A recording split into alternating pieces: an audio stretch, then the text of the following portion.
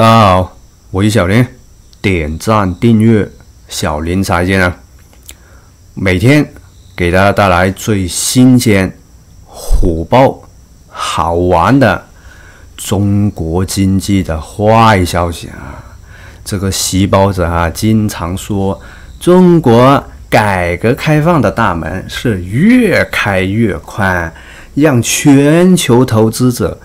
共享中国发展的红利，哎，我先不管你压的这个大门呐，究竟是不是越开越宽，还是来个闭关锁国？但是到今天为止啊，以前确实啊，江湖时期是有那么一点红利。到今天为止，这个中国经济究竟是红利多一点呢？还是陷阱多一点的？你确定现在这个中国经济还是个红利吗？还是个陷阱呢？对吧？中国的钱有那么好赚吗？来到就共享了，哎呦，好像这个中国是呃冒金山啊，这个黄金冒出来，这石油冒出来一样啊，来到就共享了，是吧？哎，所以这个语言啊，真的是。啊，这个台湾的韩国语啊，来大陆赚大钱，大陆有那么多大钱好赚吗？哎，所以我们今天啊，继续聚焦中国的行业啊，你看具体这些行业啊，两个，今天我们看啊，普一个啊是餐饮啊，还是聚焦餐饮，就普通人、一般人啊，人人都可以参与的这个行业啊，这个现在好不好做零售餐饮啊？还有一个这个 IT 啊，我们看一个 IT 巨头啊，又不行了啊。第一个餐饮，我们今天看啥呢？啊，不是海底捞了啊。今天我们看这个年轻人啊，不吃鸭脖子喽。这个有这么个热搜啊，冲上这个微博啊啊，是这个三大巨头啊，中国这个鸭脖子是中国的。嗯，可以讲每个国家有它的饮食文化嘛。有的国家呢，比如欧洲有的国家喜欢吃巧克力，是吧？啊，像日本啊，有一个叫做刨冰，哈哈，它也或什么和果子的市场，它每个国家有的独特的饮食文化啊，形成一定的一个零售市场。像和果子，你你在全世界其他地方不太找得到嘛，是吧？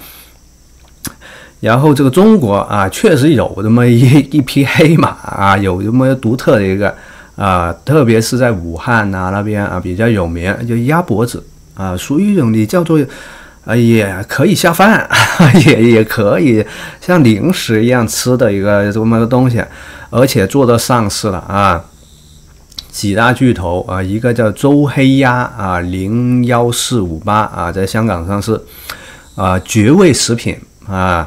六零三五幺七啊，在上上海上市，然后煌上煌啊，在深圳上市啊，在三地上市，三大巨头啊，三大鸭脖巨头啊，最近都不好过了啊，集体利润跳水呀，业绩下滑，我们来看看怎么回事啊？为什么现在年轻人不吃鸭脖子了？哈哈，是鸭脖子不行的呢，还是 啊？财务报表显示啊，周黑鸭啊，今年上半年净利润预计下滑百分之九十。嘿呦，那几乎就是没有赚钱了嘛，白做啊！现在我大概是一两年前，我他妈刚开这个频道，我已经反复在说这个现象，在中国最。哎呀，这个疫情以后吧，啊，其实幺八幺九年也没多好啊，但是已经体现出来一个特征，就是不好做啊。我们广东话的得个走走来走回的，没有利润啊，就是有你看到营收哎，好大好大呀，不断的做做几十亿的生意啊，但是利润就这么一点点，没有利润啊。以前说是都给房地产赚去了啊。然后这个周黑鸭下降百分之九十，然后绝味食品就是绝味鸭脖啊，它叫做绝味，上半年归属母公司净利润啊，预计最高下降百分之八十二，也差不多啊，都是基本上就没有利润了啊。然后暂未公布半年度业绩的煌上煌啊，今年一季度净利润下降百分之四十五点五七，二季度可能更差啊。呃，所以都是差不多啊，都是差不多。基本上三大这个鸭脖巨头那都没有多少利润了。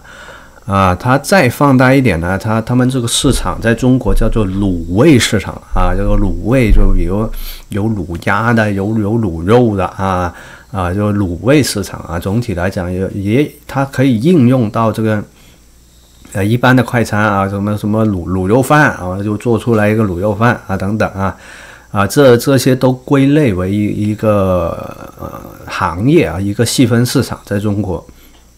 卤味三巨头啊，是年轻人不爱吃猪鸭呃这个鸭脖呢，还是这整体的形势都不好呢？里面究竟什么情况呢？这个周黑鸭和绝味食品在财务报表中表示啊，疫情和原材料价格上涨。是造成这一局面的主主要原因啊，一个是疫情啊，都都不出来逛街啊，逛逛吃吃了啊，然后一个呢是，那按理来讲，就他们很多的是这种像零食一样的啊，就打包好真空包装一个就就就就吃了，因为我就感觉也不太健康啊，但有人吃。原材料啊，价格上涨，哎，这里说到一个成本问题，天天说美国成本很高，很通胀，中国啊，是不是就没通胀问题呢？我们来看啊，截至二零二二年中啊，周黑鸭在全国门店三千一百六十家，不可谓不大啊。然后绝味门店连连门店呢，啊，有更多啊，一万三千七百一十四家，很多的开在这个。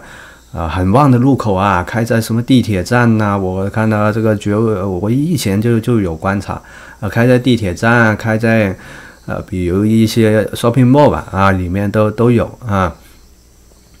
然后这个分析师啊，这个中国食品产业分析师朱先生啊，这个看来啊，呃，卤味行业鸭脖类产品增长空间是有限的啊。以规模取胜啊，这个这三大巨头基本上就分吃完了啊，就没有其他什么事儿了，哈哈。但是啊，是这个也不可能无限制，你再开也没有什么卵用了啊。这过去这么几年，你看到这中国企业几大餐饮市场，一个奶茶也这样，就拼命开，拼命开啊，好像这占占据市场主导地位，占据流量入口啊。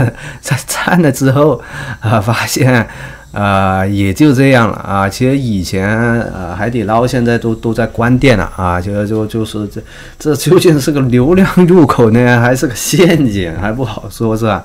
之前说下沉下沉，哎呀，其实这你看这三四线城市不好做的啊。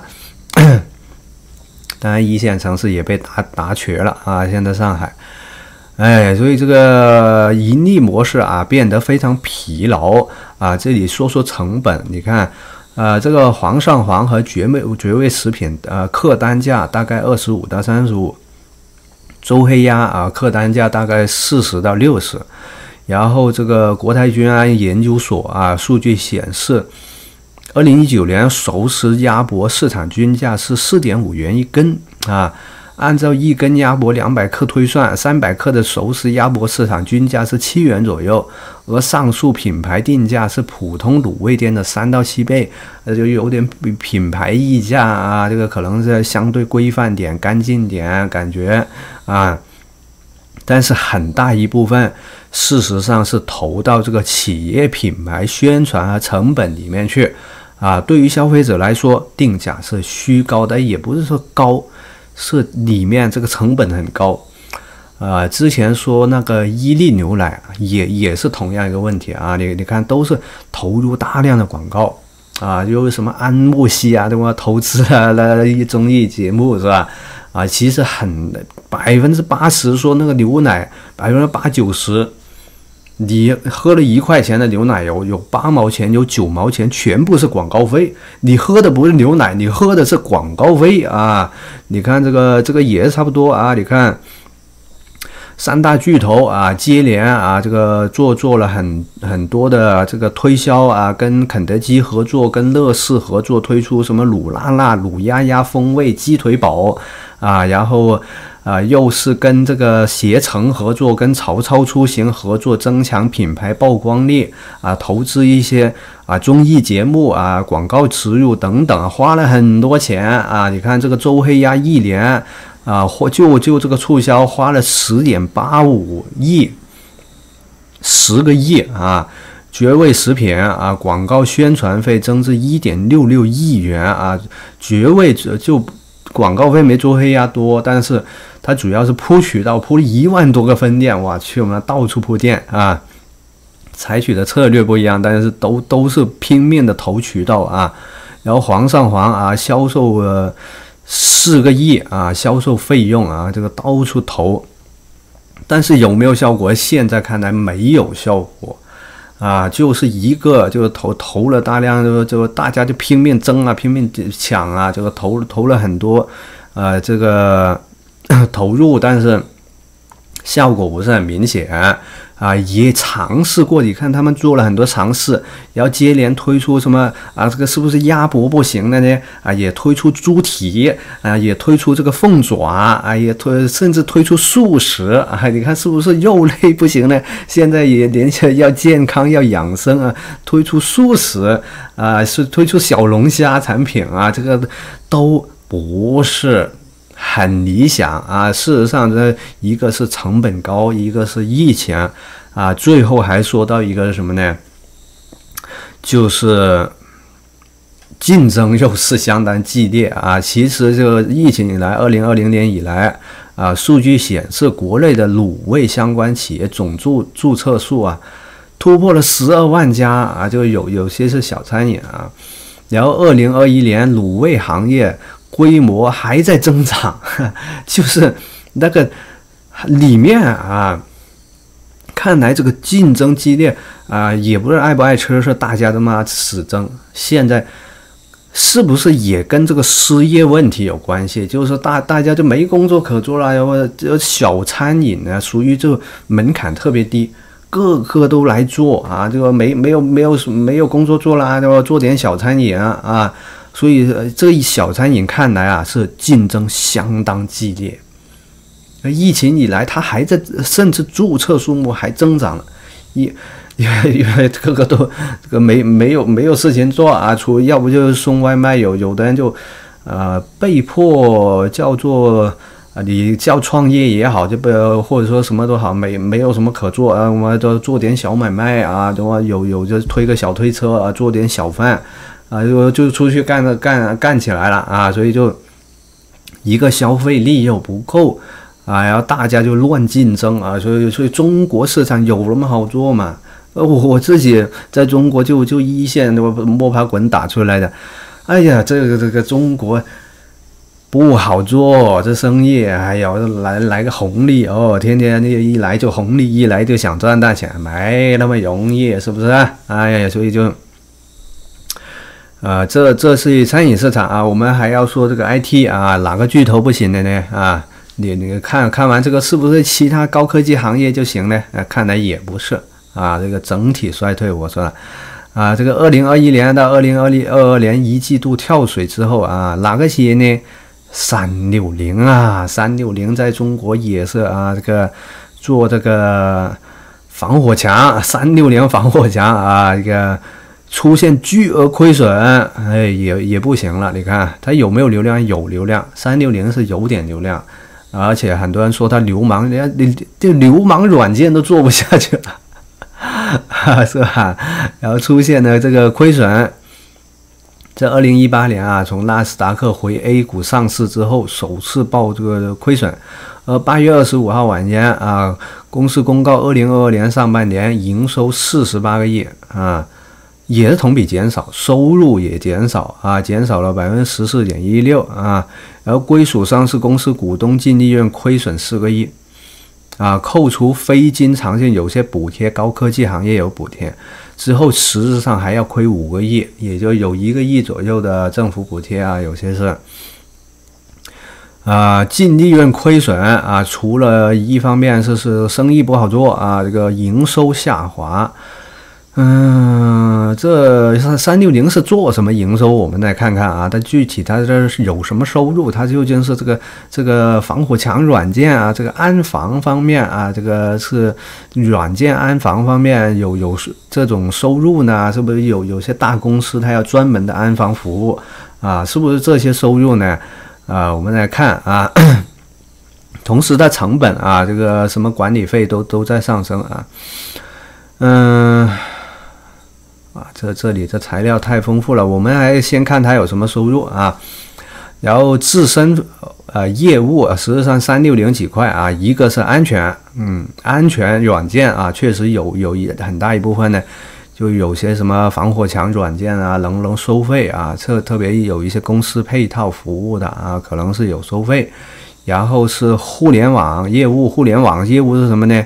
啊，什么啊？三六零安全卫士，三六零手机卫士啊，这里面是不是也是赚点流量啊？就赚点啊，比如广告费啊，就投投入了一点，比如每每次打开有的都投点广告，因为它很多也没有直接收费啊，我看啊，或者说有些增值服务，这个流量不，毕竟基础有一点啊，三六零里面可能变现能变出来一点，啊，互联网业务。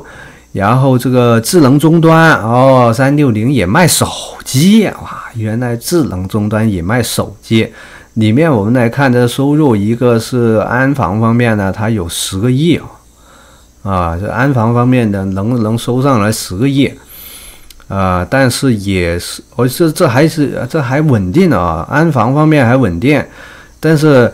呃，衰退的比较厉害的是互联网啊，也就现在收不上来钱，是不？以前它互联网是怎么收钱的？不知道啊，这是投广告呢，还是 还是有增值服务？增值服务我看在中国应该搞不了多少钱，应应该还是转化流量。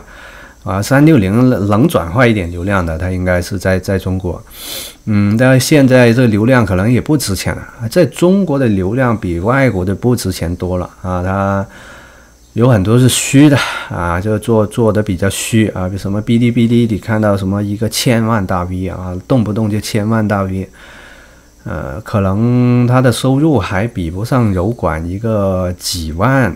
订阅的大 V 是是很虚的，他妈动不动哇说几百万的啊，什么什么微博都是这样。嗯嗯呃，这个互联网是下降百分之二十二啊，这个收入也是下降。然后终端啊，他卖手机啊，除了卖手机，还卖什么儿童哦，儿童电话手表啊，这很。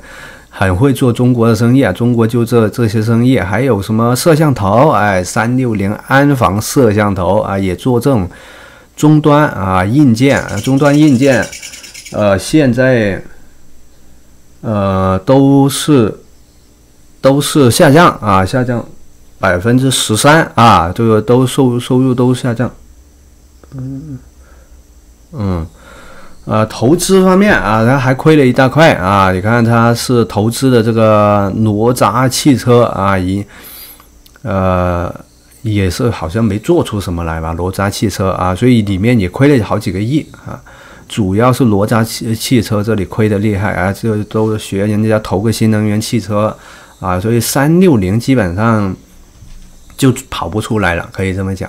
其实是好好多年前了，他跟腾讯 QQ 三六零打架的时候，他当时输了之后呢，他其实一就走下坡路了，就就回大陆圈钱，圈了圈了一大块钱啊啊！让他是成最成功的地方就是回大陆圈那个钱。啊，比阿里巴巴成功的地方，就是阿里巴巴没成功回到 A 股圈圈圈这个钱啊，三六零呢就成功圈了这个钱啊，所以稍微维持了一点点市场地位。其实三六零流量肯定是做不过阿里巴巴和腾讯的啊。嗯，看出来在大陆现在无论是什么 IT 啊，这个巨头就除了几什么什么腾讯、阿里还能苟延残喘以外，你看三六零现在也也一塌糊涂了。啊，就是在中国，往往就是跑跑出来，你看，包括电动车啊，就跑出来一个两个啊，什么共享单车？你说这市场真的很好做，就跑出来一个两个能能够能够苟延残喘的。你说赚大钱，现在也也就是赚到大钱都都要归归习近平了，是吧？所以，呃，我们还回到这个主题啊，中国的生意有这么好做吗？啊，所以看了一圈，看了这些具体的企业的业绩还有经营公布出来，这个上市大公司啊，他们都不好做。哎呀！你平头老百姓，你做你你比他厉害，啊，你起码都人家三六零啊是是个半吊子的，但是你那些一般老百姓你比不过他，对吧？对不对啊？他们都搞不了，我们老百姓哪里搞得了啊？对，不好做啊，小心点啊，不要一门一股脑门哦，中国赚大钱了，大湾区赚大钱了，没有的事啊。所以先说到这样啊，就有点意思，点赞、你的、分享，拜拜。